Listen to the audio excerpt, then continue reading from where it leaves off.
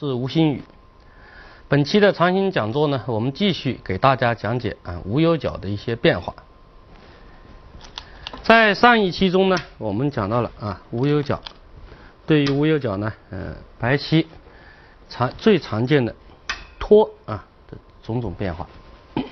那么呢，对于这个无忧角啊，白棋呢还有一些其他的手段。那么呢，这个手段呢，白棋呢还有这个。尖冲、外靠，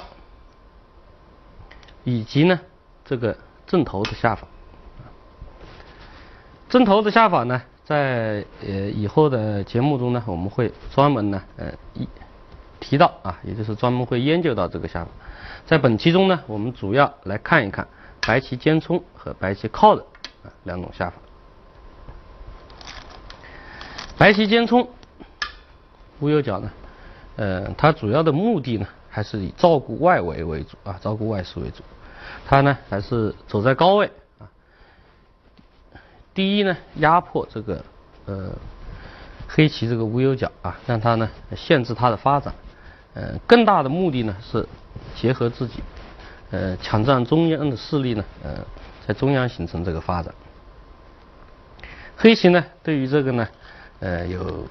两种比较普通的印法啊，一种呢是爬啊，一种是在上方啊，上方印。上方印呢，主要呢是爬啊，或者说呢飞也有啊。我们来看看，嗯，黑棋如果爬，那么白棋呢就退，黑棋再爬，白棋退，啊，黑棋跳。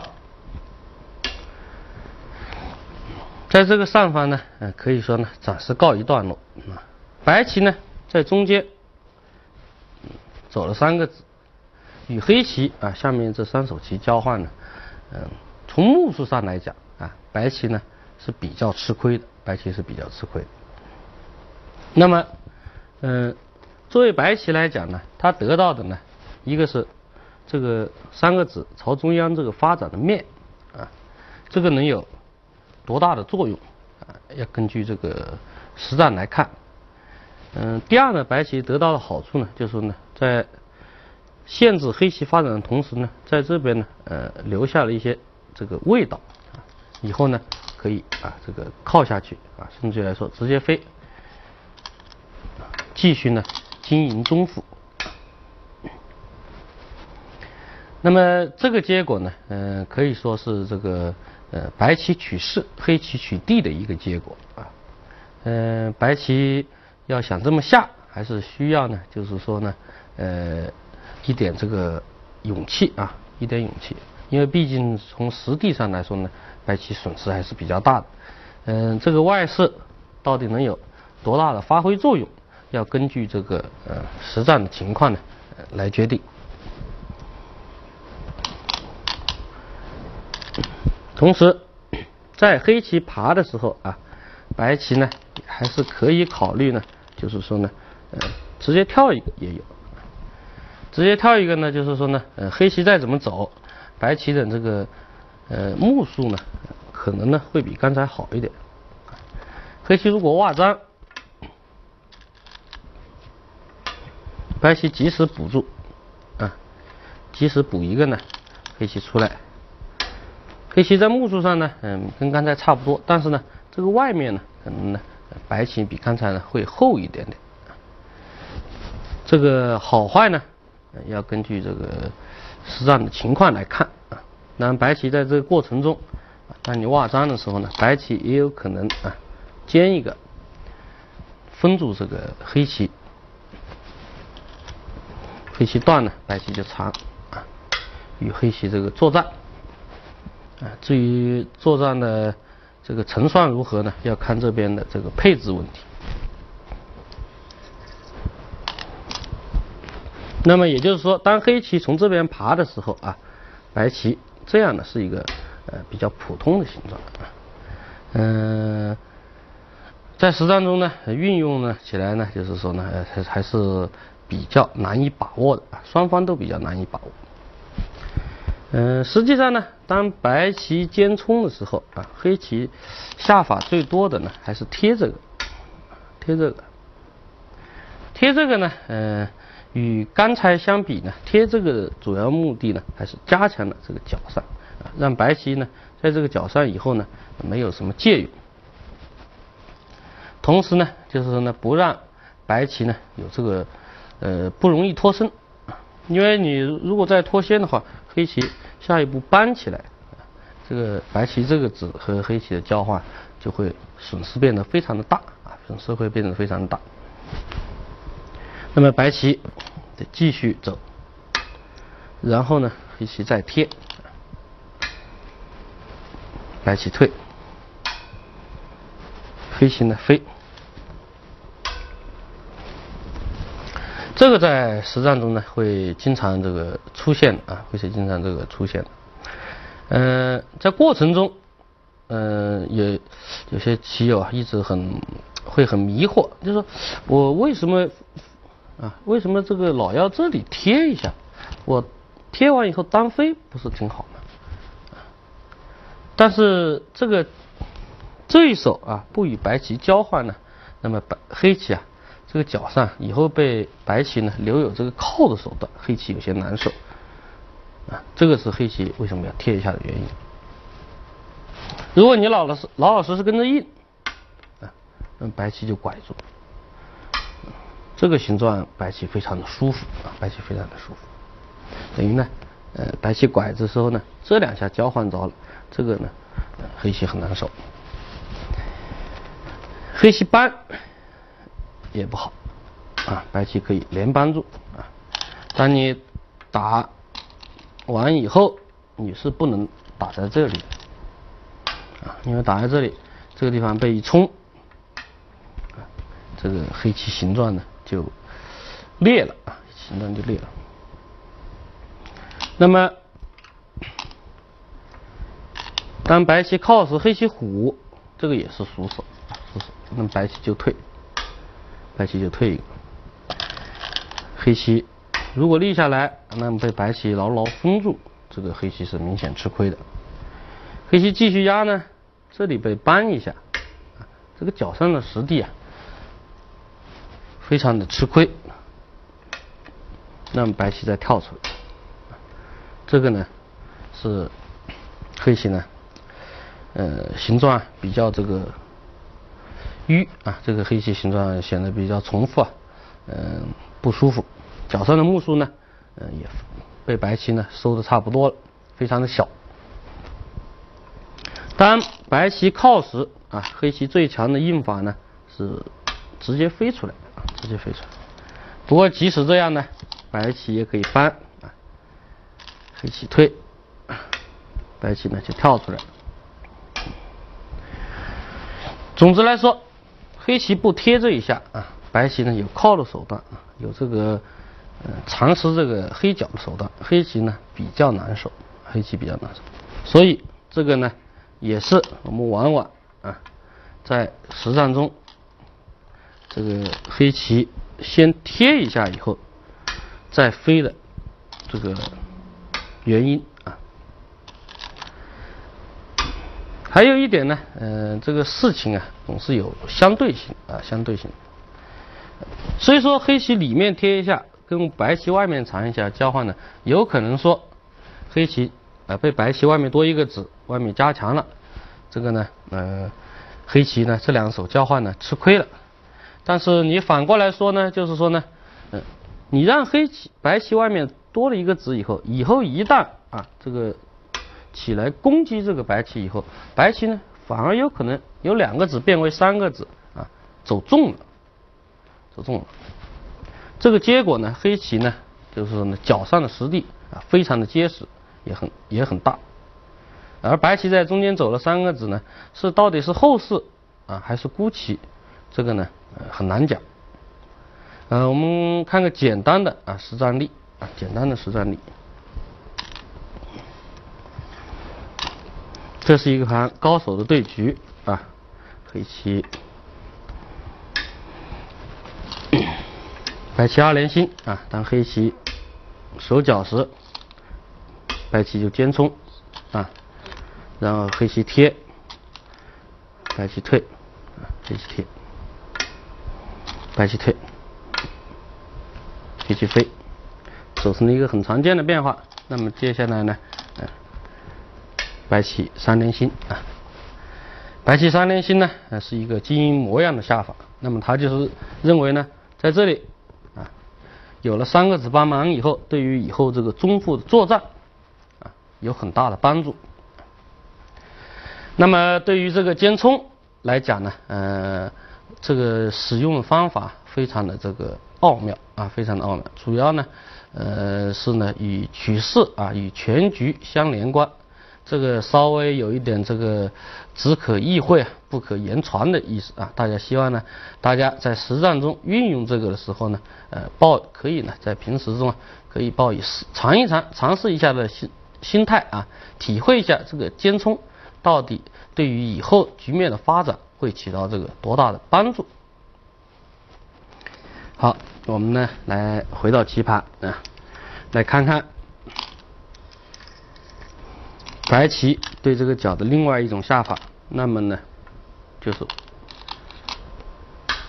外靠啊，外靠，外靠这个下法，嗯，是近几年以来啊，就是说，嗯，出现的这个频率啊，越来越高啊，越来越高。它的主要的呢，呃，一个前提呢，就是在这个角啊，右下角有子的情况下。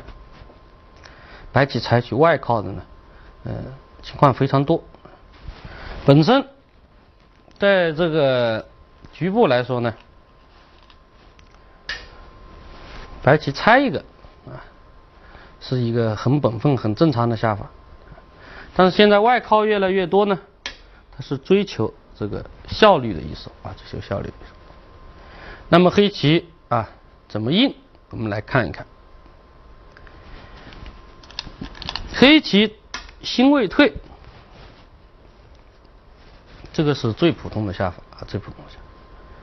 那么呢，呃，虽然你是最普通、最老实的下法，但是白棋靠完以后呢，白棋呢还是可以满意的。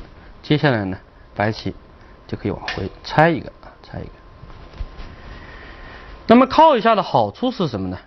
靠一下的好处就是，当这个以后以后白棋行棋的时候啊，就可以。直接立下来，直接立下来。嗯，怎么说呢？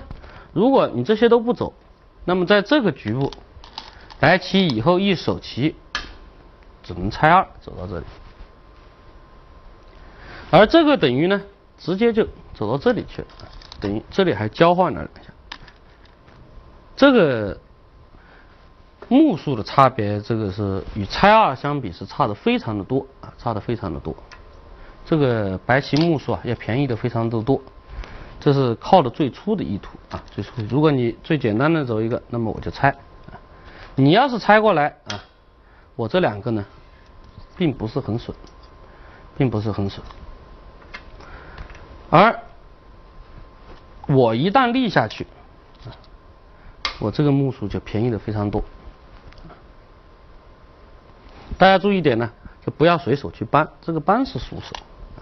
这个扳和黑棋交换是输手，因为你以后再走的话呢，只能粘上，那么这个拐就变成亏损了，就变成一个亏损的形状，因为这个棋以后你总是单立啊，保留这个跳的光子啊，保留这个跳的光子，所以这个呢棋呢，呃，这样也是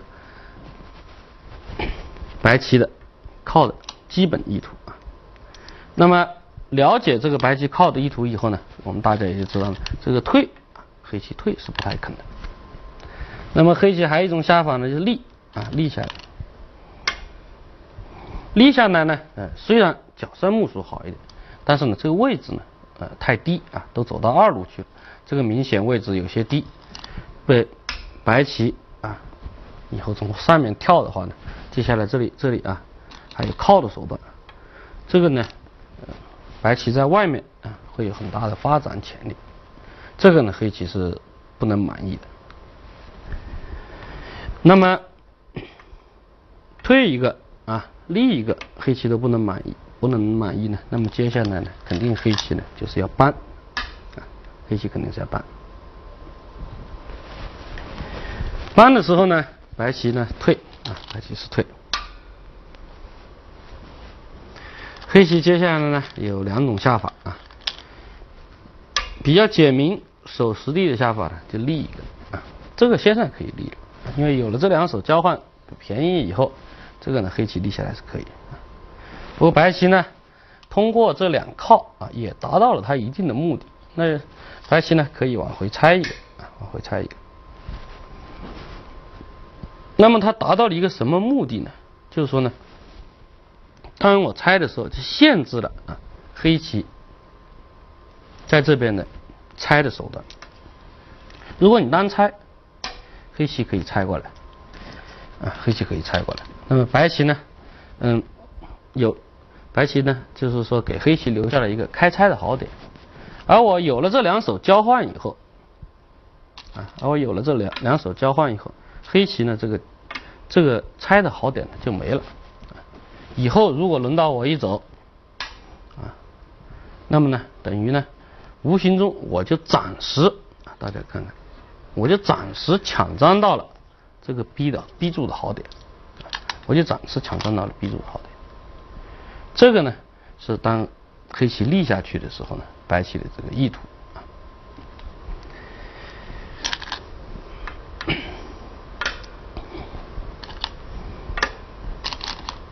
拆，如果黑棋压啊，当然也是非常大的一手。白棋呢可以暂时不走啊，暂时不走，呃，因为下一步黑棋才能走到这里。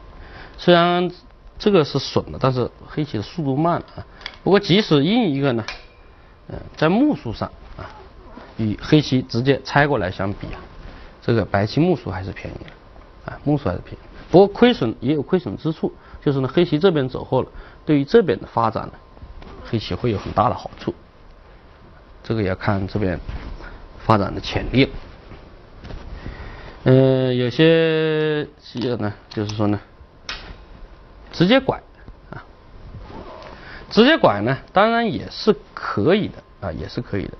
不过呢，他给了黑棋呢一一一些变化。黑棋如果就简简单单的这个退啊，当然也不能说是坏棋啊，这个棋形也是很结实啊，也很挺拔。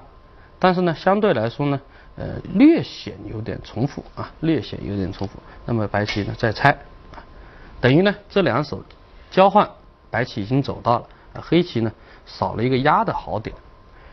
这个白棋呢，就是说呢还是比较满意的，等于就拆了这个的同时，等于是先手啊，等于是先手交换到了这一下啊，先手交换到了这一下。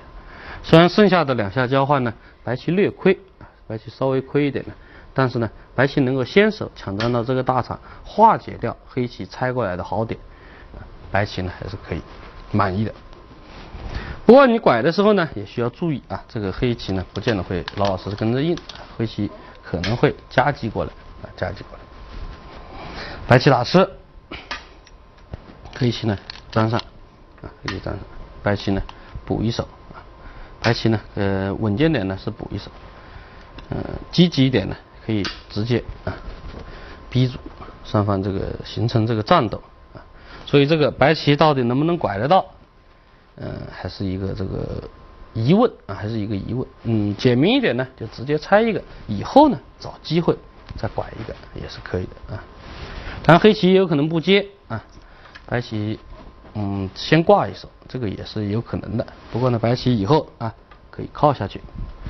嗯，大家注意啊，这个这个棋黑棋不应的话，你这个不能提啊，这个提是个是这个大输手啊，这个要闹要闹笑话啊。这个白棋呢，以后呢有直接靠下去的手段，所以接一个呢还是挺大的。这是黑棋立下来了以后啊，白棋的一些下法啊。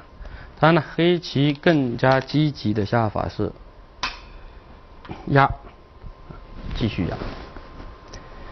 继续压啊！如果你再退，这个就跑了啊！这个被黑棋立下来呢，你再拆回来的时候呢，等于无形中呢，这个黑棋已经先手压到这一下啊，同时压到这一下的时候，你还退了一个没跳啊，退一个也比较重，以后呢，黑棋留有啊这个伏击，所以白棋退是不好的。那么作为白棋来讲呢，这个棋呢，跳一个啊跳一个，这时候黑棋不能立了啊，黑棋不能立了，立了以后，白棋不但不会走这个，它甚至于直接啊会往回拆一个，这样白棋的形状会非常的好。那么黑棋继续挖，打吃啊，粘上啊。注意，黑棋的这两个下法呢，就是说呢，嗯，放弃脚上的这个实地，而经营的这边，在这边呢，至少呢要有一定的配置啊，一定的这个配合。接下来呢，白棋如果啊搬。如果搬，黑棋呢，呃，可以根据情况呢，有两种选择啊。一种呢，如果觉得外面大，如果如果觉得外面大呢，那么就是可以考虑断一个，断一个。白棋粘上，白棋粘上，白棋这时候不也不能打啊，这时候打黑棋会断打在这里，白棋粘上啊，黑棋吃掉外面。白棋呢打吃，啊，白棋打吃，这个等于就是黑棋得外势啊，白棋呢，嗯，得实地。这个结果呢，第一，首先黑棋还是要需要这个争执有力的啊。第二个呢，要看看这个外势的发展有多大。黑棋第二种下法啊，黑棋第二种下法呢，就是说呢，直接退一个啊，直接退一个。对，嗯，大家需要注意啊，需要注意一点，就是说，哎，这个地方不是明显能连帮助嘛，是吧？连帮助，你要吃了我，我可以把外面两个提了，但是这个连帮助啊，这个不太好啊，不太好。为什么不太好呢？第一，白棋它可以随时有断打、打吃啊，提掉脚上转换的余地。第二，由于你连帮，白棋有这个打的手段，你外面的这个头。就变软，这个白棋贴贴起来以后呢，黑棋啊，这个是会呢有一些这个问题啊，会有一些问题。嗯，首先黑棋由于多了这个打以后，这个头变软了，你再搬的时候啊，被白棋一搬啊，这个黑棋不好继续，因为随时要断打你，随时要断打你。那么。里面呢，你也没什么棋，好像，你断这个，本身断这个啊，白棋简单点就可以打掉你，啊，就可以打掉你。你打吃提掉啊，虽然在角上，后上加后，啊，提掉两个子，但这个外面，白棋提掉一个子以后，这个配置，白棋实在是太舒服了，黑棋淤在这个里面，显明显的显得重复。其二呢，当你断的时候啊，白棋还有可能就直接粘上，你长，我就先把角上吃掉，先把角上吃掉，然后呢，当你搬的时候，我再逃出来。这个下法黑棋完全没有成算啊，因为先把脚上的目数全部损失掉以后再继续的话，这个黑棋是完全没有成算。所以说，这个虽然能连帮助，虽然能连帮助呢，但是呢，呃，这个不是呢，这个太好啊。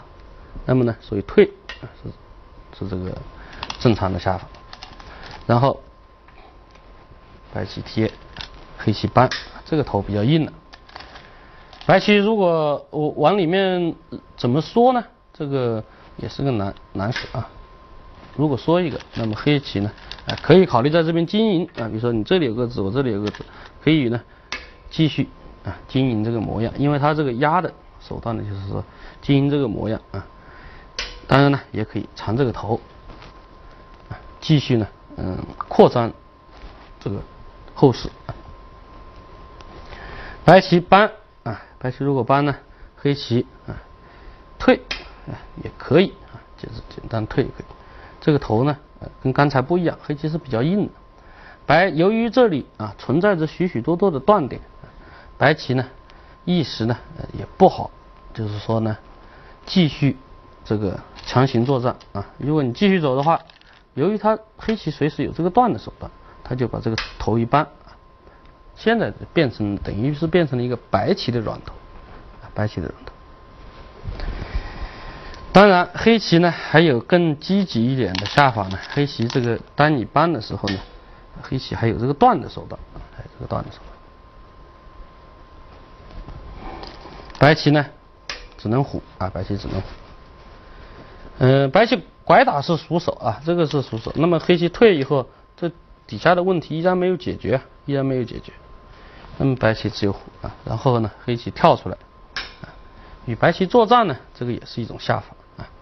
以下的变化呢，也是非常的难解啊，难解。白棋肯定不能吃啊，吃完被滚打，这个受不了。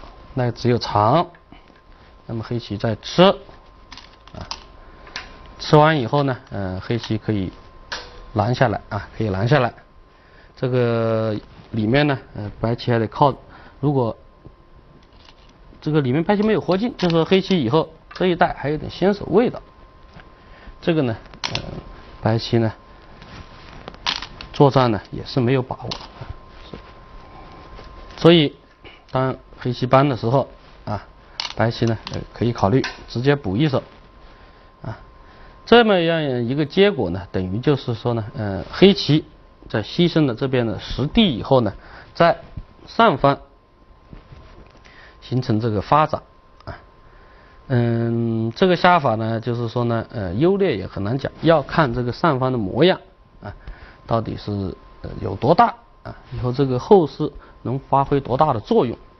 总之来说呢，你在白棋靠的时候，白棋心里呢也要有所准备啊，也要有所准备。如果黑棋这么走出来非常严厉的话呢，那你这个靠呢，就会有问题。简单总结一下呢，就是说呢，当白棋靠的时候啊，黑棋搬反击是必然的；白棋退时，黑棋呢有两种选择啊，就是说，一种以实地为主的立下去，另外一种啊，以这个外势为主，上边发展为主压上去啊。这两种下法呢，黑棋都是有的。当然呢，对于这两种下法呢，白棋也是可以，就是说呢，呃，应对的。嗯，在实战中呢，嗯，大家呢，嗯，听听完本期讲座以后呢，不妨啊，您在实战中呢，呃，运用一下，看一看这个外靠的效果如何。好，本期讲座呢，我们就给大家呢，呃，讲解到这里。如果您还有什么问题呢，可以通过拨打热线或者是发 email 的方式呢，与我们联系，我们尽能力呢，嗯，给您予答复。谢谢收看本期节目，再见。